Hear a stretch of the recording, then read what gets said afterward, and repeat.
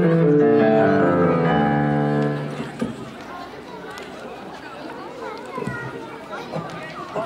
you.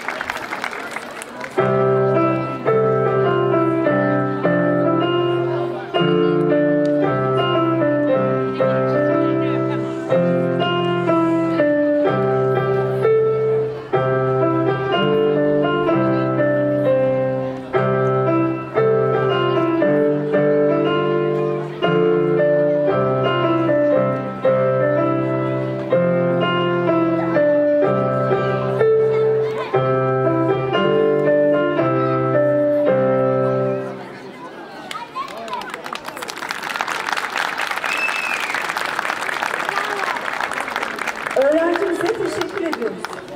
Bugün yalnız sen varsın. Yolumuz senin yolun.